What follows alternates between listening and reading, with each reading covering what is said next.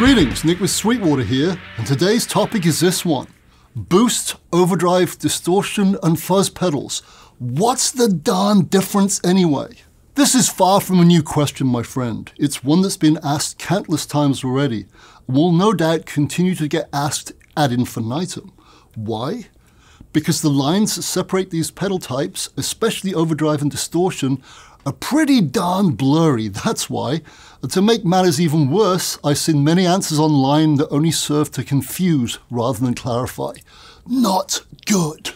To add further to this age-old dilemma, there has never been a wider array of boost, overdrive, distortion and fuzz pedals to choose from than right now. I mean, at the time of filming this video, Sweetwater offers no fewer than 460 of these dirt-enhancing and delivering devices. That's a lot of pedals, my friend. An awful lot. If you just tried one a day, it would take you well over a year to check them all out. Choice paralysis indeed.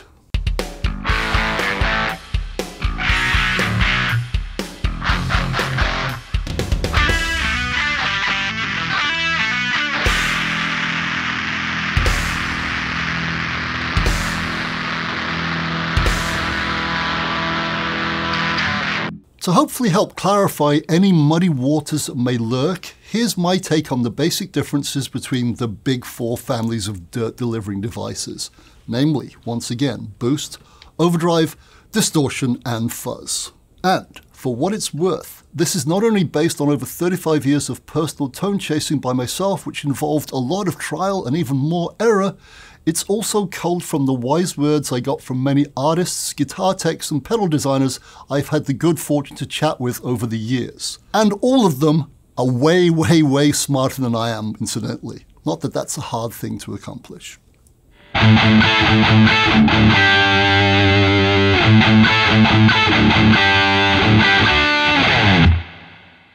In a nutshell, all the pedals we're discussing here have the same end game objective to make your guitar tone bigger, bolder, gnarlier, edgier, heavier, dirtier, and nastier. In a good way, of course. And all of them can and will do the above, when used correctly, by the way. Duh. That said, each of these four food groups do it differently and in varying degrees too. In terms of their desirable signal altering abilities, I'd liken boost, overdrive, distortion, and fuzz to the four heat options I once encountered in a great Eastern restaurant that specialized in spicy food, namely mild, medium, hot, and insane, with every single option being tonally tasty, of course.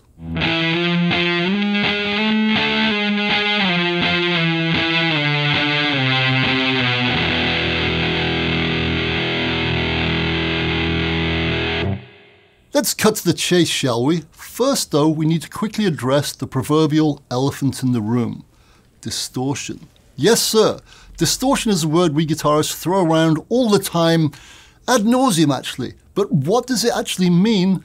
And more importantly, how is it created? To address this, I immediately went to the Googles to get a dictionary definition of the word in question.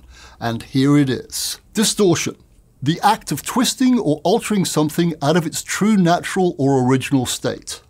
And, even more relevant to us guitarists, the following statement was also included in the same definition. Audio distortion, falsified reproduction of an audio signal caused by changing the original signal's waveform. To get a better understanding of exactly what distortion is and what it does, let's take a quick look at the true natural state of a clean guitar signal before it is twisted and altered into distortion. To that end, here's a simple sine wave image, one I'm sure you've seen countless times already. Simplistically speaking, this is what a sound wave looks like. The way pedals, amps, tubes, and or speakers distort this nice, smooth, symmetrical shape is by chopping off the tops and bottoms of this waveform. This chopping off is often referred to as clipping, which makes perfect sense. Also, the tops and bottoms of the sine wave are often called peaks and troughs. Got it? Good. Simplistically speaking, this chopping can be done in three ways. Subtly, harshly, or in a totally brutal, medieval fashion a la one of my favourite movies, Pulp Fiction. The first two chopping methods, let's call them gentle and not so gentle, are often referred to as soft clipping and hard clipping, respectively. Here's a pretty simplistic diagram, my favourite word of this video by the way, simplistic, of said soft and hard clipping of a sine wave. As you can see from the orange lines in this image, the peaks and troughs of the sine wave remain rounded when soft clipping occurs. They're just a little blunter and shorter, that's all. The result is a subtle yet noticeable change. So to do the soft clipping, we've effectively just clipped a little bit off the top and the bottom of the sine wave. That's why it's called soft clipping.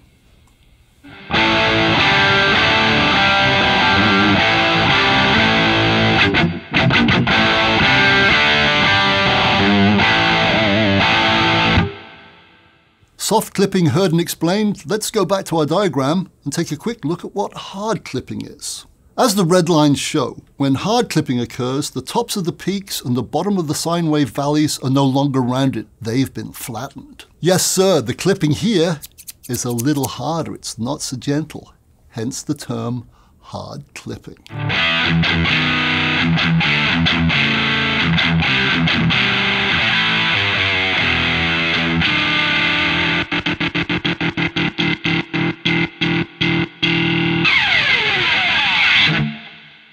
As for the final clipping option, the medieval one, well, when this happens, the peaks and troughs of the sine wave are totally beheaded in a truly brutal fashion.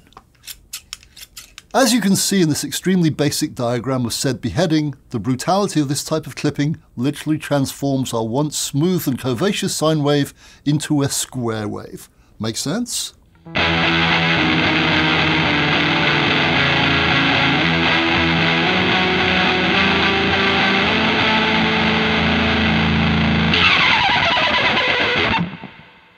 While purposely avoiding going too far into the fascinating but deep rabbit hole that is distortion, each one of these three clipping types also changes the harmonic content of each note. They do so by adding new frequencies to the note's fundamental undistorted frequency, and thus gloriously deformed new sounds are created. The ones we guitarists know and love as overdrive, distortion, and fuzz.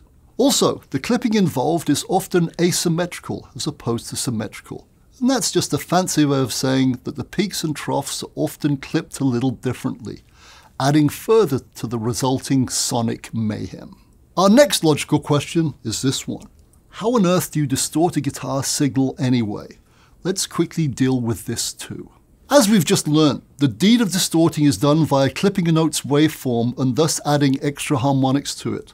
There are two basic ways this can be done. And to help visualize them both, let's imagine that our simple, undistorted sound wave is a fellow named, wait for it, Mr. Wave. This fella on the screen joining me right here. And we'll also imagine that the signal path our new pal Mr. Wave will be traveling down is a corridor with a ceiling. Make sense? Good. This explained, let's take a quick look at another picture of a sine wave. The red lines at the very top and bottom of this diagram indicate the maximum output level of the signal path our wave is travelling. Its threshold, if you will. And as also indicated, the space between the peaks and troughs of the signal's waveform and these two red threshold lines is known as headroom. And last, but certainly not least, the height of the wave measured from top to bottom, or peak to trough, is called amplitude. So, if we go back to our guy walking down a corridor analogy, Threshold is the height of the corridor ceiling, while the wave's amplitude is how tall our chap Mr. Wave is. Make sense? Let's look at a dodgy diagram I drew earlier. See what I mean? The height of the corridor is the threshold, and the wave's amplitude is how tall our guy is. So the headroom is the amount of room between the top of our man's head and the corridor ceiling. Make sense? I think it does. Therefore, logic dictates there are two ways we can create distortion. We can make our guy taller than the corridor, or we can make the ceiling of the corridor lower than the height of Mr. Wave. Or a little bit of both, of course. Now, Obviously, when the corridor ceiling is taller than Mr. Wave is, he can walk down it with ease, just like this. Yep, no problem here. Mr. Wave is walking proud and tall, no distortion happening at all. Mr. Wave is Mr. Clean at the moment.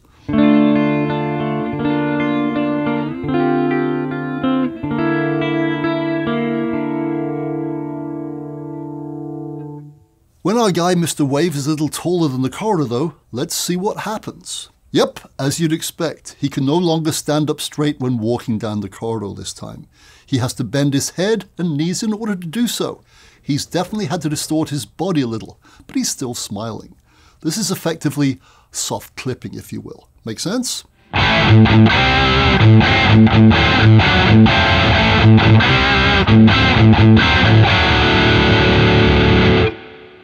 Obviously, the taller Mr. Wave gets relative to the height of the corridor ceiling, the more distorted he has to become in order to walk down it. Let's take another look.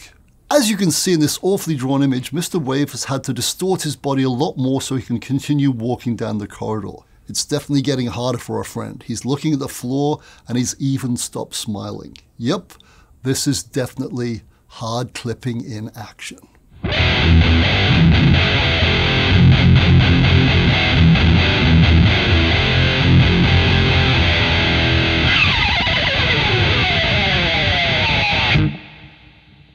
And I think you've probably already guessed what's coming next. Yep, it's square wave time. As you can see, poor Mr. Wave is now reduced to traveling down the corridor on his hands and knees, and even his face is pretty distorted.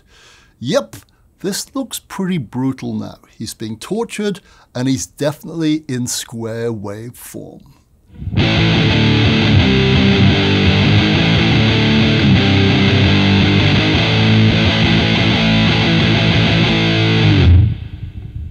And so ends our quick, simple overview of the much more complex sonic subject that is guitar distortion in all its glory. I hope it proves useful, and I apologize once again for my simply awful sketching skills. Distortion discussion done, let's talk stomp boxes now, shall we? We'll start with boost pedals and then work our way up the distortion ladder. Firstly though, a little bit of dirty guitar trivia. The first ever guitar pedal that generated distortion was the fuzz. Before this groundbreaking pedal was born in the 1960s though, the often criminally overlooked Link Wray recorded a single in 1958 called Rumble, a rock and roll instrumental that featured a gratingly distorted guitar sound. How did Link achieve this landmark of dirty tone? By poking holes in his speaker cones with a pencil, that's how. Don't try this at home though kids, it will void your warranty. Rumble was banned by US radio but inspired the likes of Pete Townshend of The Who to pick up the guitar. Link may not have been the first to record with a distorted guitar sound, but his influence is irrefutable. Trivia over, let's quickly get into boost pedals, shall we? Simply put, the fundamental way a typical boost pedal differs from OD distortion and fuzz stomp boxes is this. It doesn't add distortion. I repeat, it does not add distortion to your signal. Why? Because unlike its dirtier bigger brothers, a pure boost pedal doesn't contain a clipping circuit. That's why, as its name suggests, a boost pedal's function is purely to make your guitar signal louder without adding any distortion to it. They're effectively sonic magnifying glasses, if you will. They just make your guitar signal bigger. To emphasize this no distortion added truth, Manufacturers will often use the term clean boost when describing such a pedal's function.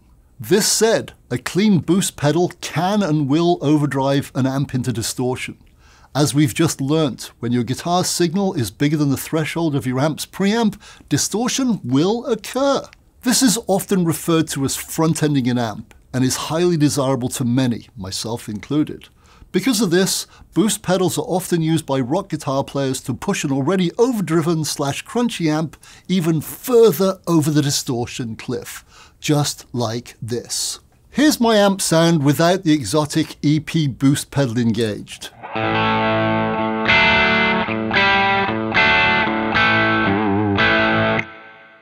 As you can hear, it's got some grit, but of course, I want more. So let's kick in the EP boost, which can add up to 20 dBs of clean boost.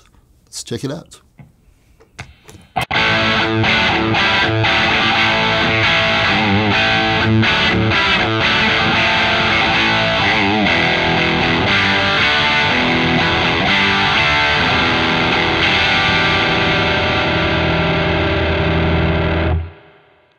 Mission accomplished, I think. I like it.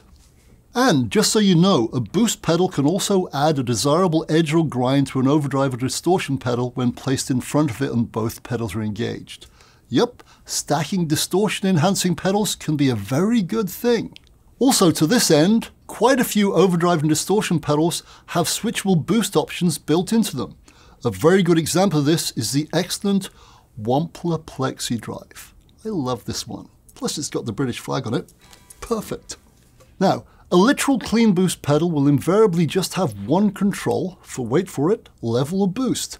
Just like this fine Wampler one I've got in my hand, or the EP I've just used. Yep, it's trivia time again. This time it's treble boost trivia. I feel it's worth pointing out that Tony Iommi of Black Sabbath, the man many consider to be the godfather of heavy metal, and quite rightfully so, often used a modified Rangemaster treble booster to front end his overdriven tube amps. Now, a lot of folk at the time assumed he was using a fuzz pedal, but that wasn't the case. Because of this, the excellent Catalinbread Sabracadabra pedal emulates Tony's treble boost use via its clever range control. Let's check it out.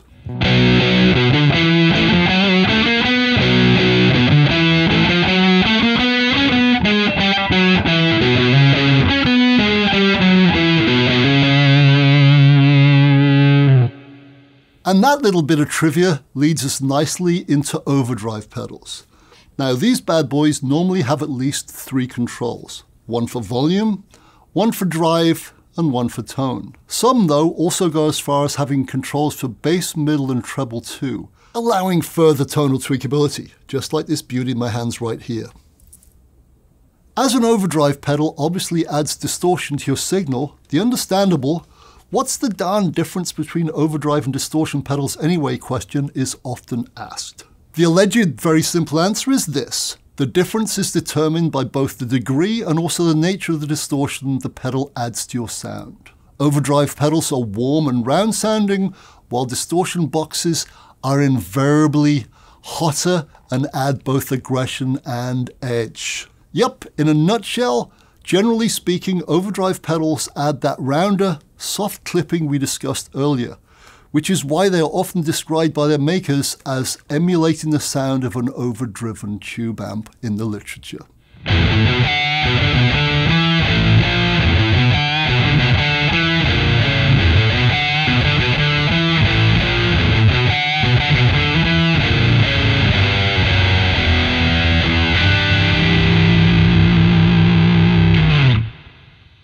To the ears and fingers of many, including some of the most revered tonesmiths out there, the sound of an overdrive pedal being used to push uh, an already overdriven tube amp over the edge is a highly desirable one. And part of the reason for this is that the resulting complex crunchy combination of the pedal and amp's overdrives together just can't be achieved by either unit alone. They have to work together.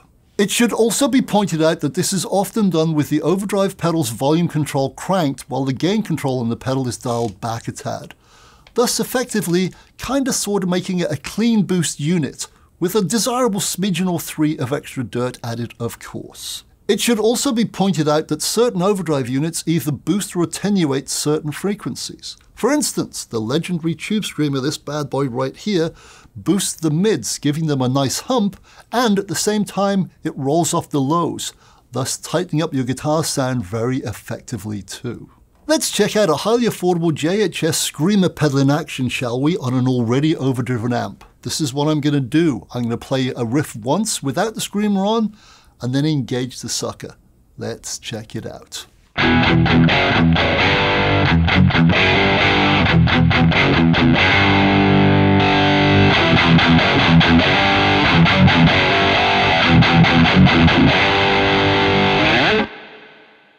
Next up are distortion pedals, and as already stated, the main difference between overdrive and distortion is aggression. Once again, overdrives deliver soft clipping, while distortion boxes go harder, way, way, way harder. Let's quickly check out the Walrus Eras pedal, for example. Here's the amp with the pedal off,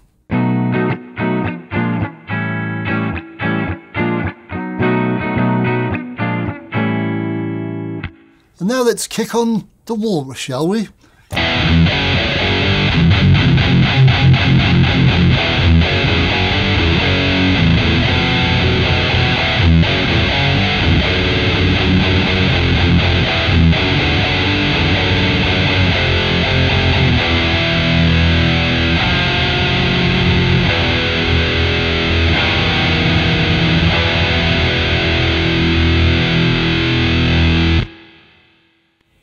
I got carried away there a bit. That's hard.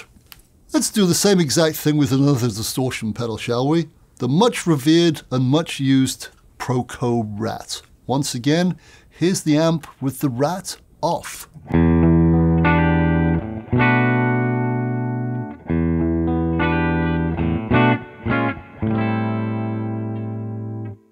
And now with some rat action.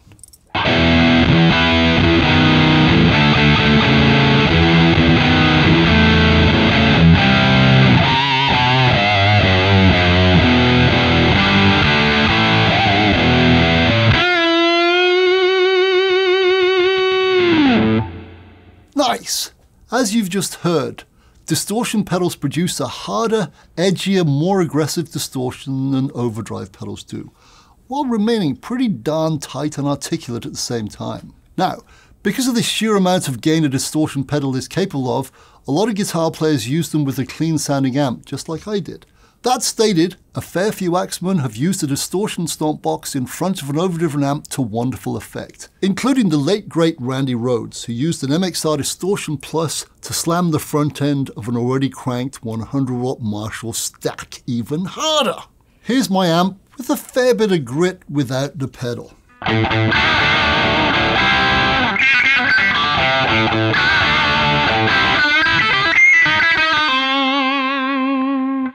But guess what? Yep, I want more. Distortion plus kind of more. Let's check it out.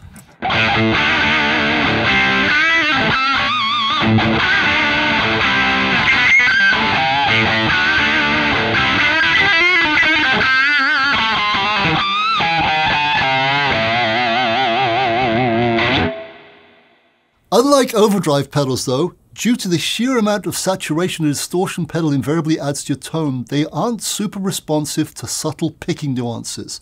Especially, of course, if you've got the distortion control cranked to a Spinal Tap approved 11. And that leads us very nicely into our final purveyor of filth, the pedal that started it all, the Fuzzbox.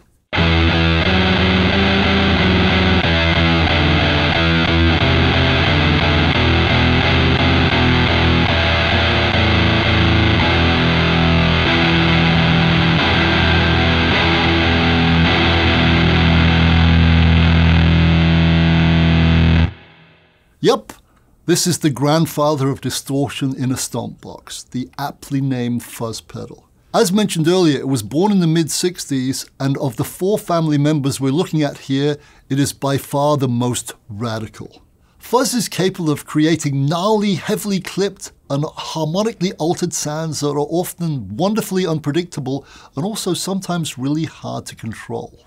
One big reason for this is that fuzz pedal circuits invariably use transistors, and these gloriously lo-fi components add a heap of harmonics as they mercilessly mash your guitar signal into a square wave of doom. Not surprisingly, the type of transistor being used also impacts the type of fuzz created too. Silicone transistors deliver a bright, aggressive fuzz, while germanium ones tend to generate a smoother, warmer sound. The Dunlop Jimi Hendrix fuzz face is a classic example of satisfying silicone sizzle in action. Let's listen to a little piece of it, shall we?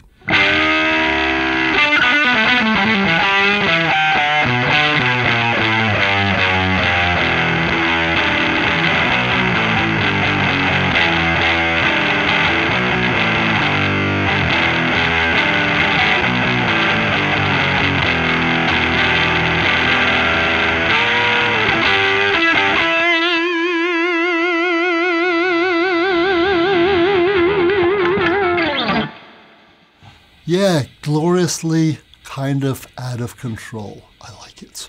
Another classic device that has been dishing out fuzzy magic for decades is, of course, the Electro-Harmonix Big Muff Pi, and that's what I play out with. Let's check this bad boy out, shall we?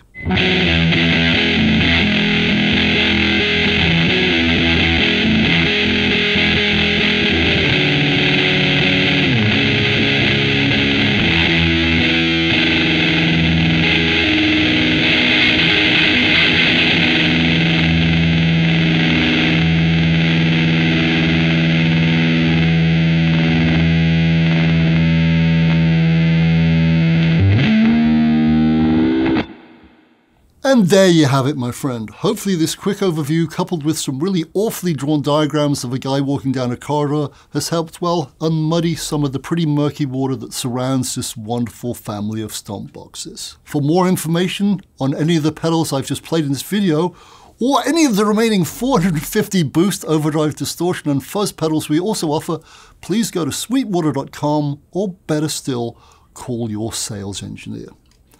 I'm out of here. Stay dirty, my friend. Stay dirty.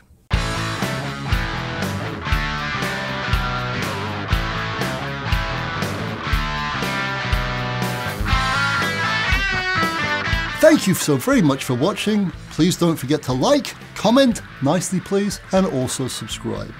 Click here for more videos like this or start at sweetwater.com for all of your music instrument and pro audio needs.